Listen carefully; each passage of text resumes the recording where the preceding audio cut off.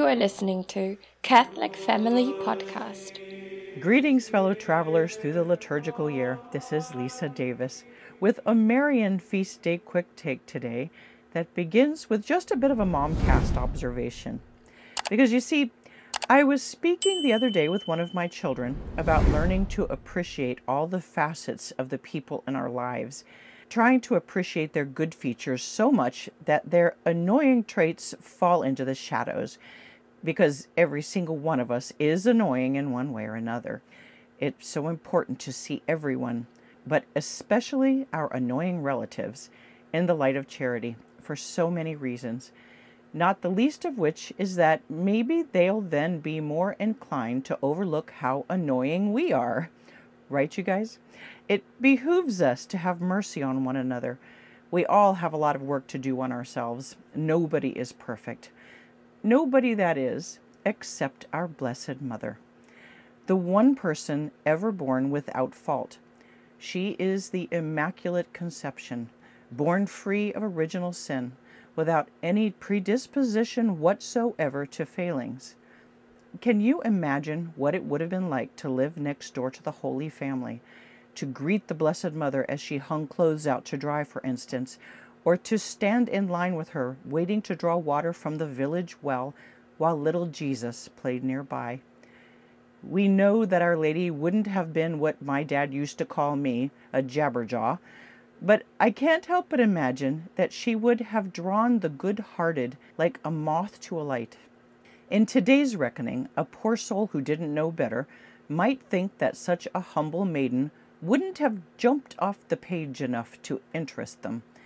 In these crazy days, we've been indoctrinated to assume that flaws make a person interesting, that we should be accepted not in spite of our flaws, but because of them, that perfection is boring or bland, that we would be foolish to strive for it. We've become a society that tears down its beautiful ancient cathedrals and praises its junkyards for their variety and all inclusiveness. This, of course, we know, is the devil's work. As Catholics, we're blessed to know that Our Lady is the model of perfection that the cathedral architects of Holy Mother Church aspired to. And falling short, as they of course would, we're left with a yearning for the real and true beauty who originally housed our divine Savior in her womb our light, our sweetness, and our hope.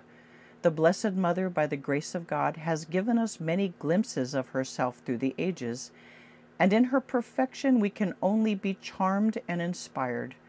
To know her is to love her, and to try to be as like her as we can.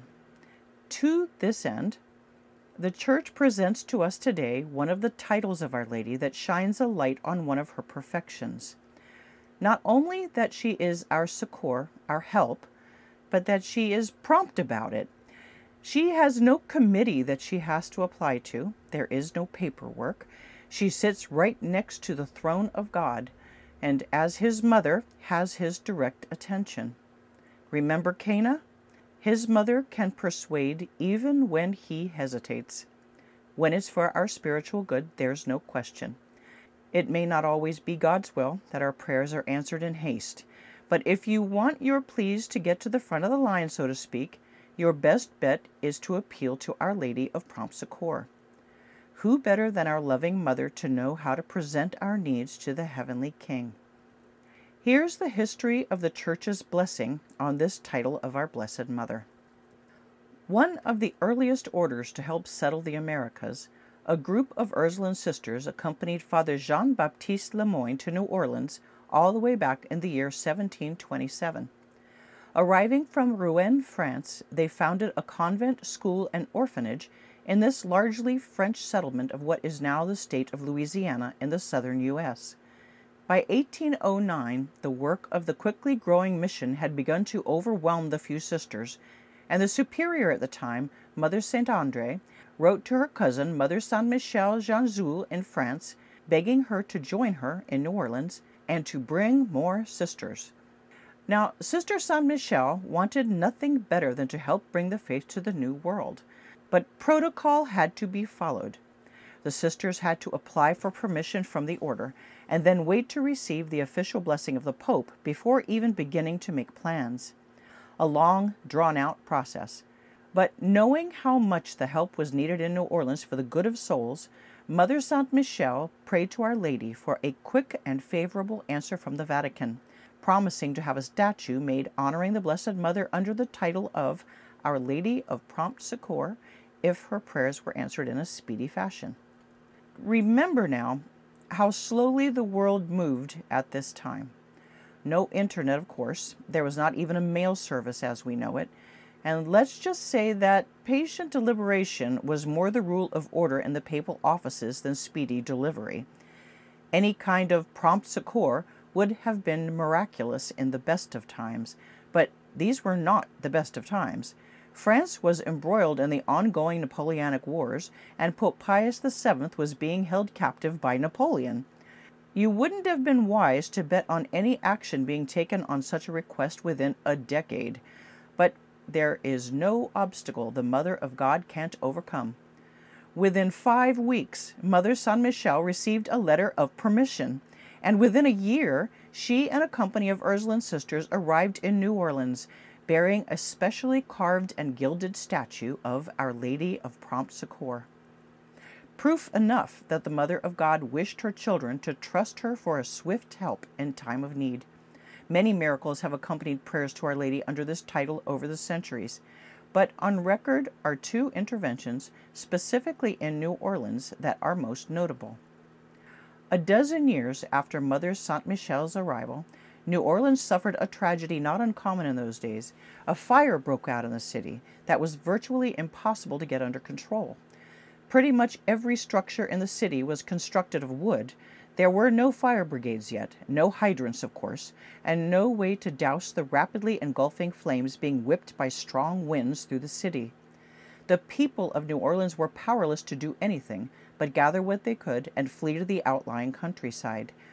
But the Ursulines refused to abandon their chapel and buildings.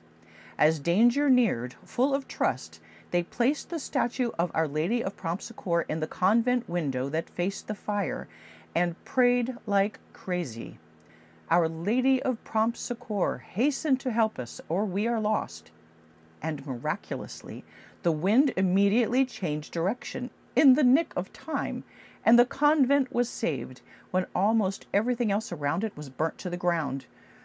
This marks the first public miracle attributed to the Blessed Mother under the title of Our Lady of Prompt Succor. The second occurred during the Battle of New Orleans in 1815, when 10,000 British troops descended upon the city. The defending American soldiers, led by General Andrew Jackson, were outnumbered almost two to one, and defeat was more a probability than a possibility. Hopeful of sanctuary, the people of the city fled to the Ursuline convent for safety, while the American soldiers fought the British from behind bales of cotton. In the meantime, the good sisters and the townspeople held vigil through the night, praying in the chapel before the image of Our Lady of Prompt Succor. And miraculously, the Americans defeated the British with minimal casualties. The actual battle lasted 25 minutes the British suffered 800 dead or missing in action, while Jackson lost only seven men, with an additional six wounded. General Jackson, who was not a Catholic, was nevertheless convinced of the heavenly support delivered specifically by the sisters' prayers and thanked the Ursulines in person. He is recorded as saying, quote, By the blessing of heaven directing the valor of the troops under my command, one of the most brilliant victories in the annals of war was obtained. To this day, the Ursuline sisters celebrate an annual Mass on the day of the victory, January 8th, to thank the Blessed Mother for her intercession. Pope Pius IX authorized public devotion to this Marian title on September 21, 1851, designating January 8th as its local feast day. The miraculous statue received the honor and approbation of the Church with the blessing of Pope Leo XIII in November of 1894, followed by the canonical coronation of the statue, crowning both the Blessed Mother and the baby Jesus. In June of 1928, Pope Pius XI declared the Blessed Virgin Mary under the title of Our Lady of Prompt Succor, the patroness of Louisiana. The original statue of Our Lady of Prompt Succor was moved in the 1920s from the original site of the Ursuline Convent in the French Quarter to the National Shrine of Our Lady of Prompt Succor on the State Street campus of the Ursuline Academy and Convent. It's the only statue in the United States that has been crowned by a Pope's delegate and is one of the few miraculous statues in North America. Prayer to Our Lady of Prompt Succor, an appropriate one for these days of unrest and insanity. Our Lady of Prompt Succor, thou art after Jesus our only hope. O most holy Virgin, whose merits have raised thee high above angel choirs to the very throne of the Eternal, whose foot crushed the head of the infernal serpent, thou art strong against the enemies of our salvation. O Mother of God, thou art our mediatrix, most kind and loving. Hasten then to our help, as thou didst once save thy beloved city from ravaging flames, and our country from an alien foe. Do now have pity on our misery, and obtain for us the graces we beg of thee. Deliver us from the wiles of Satan.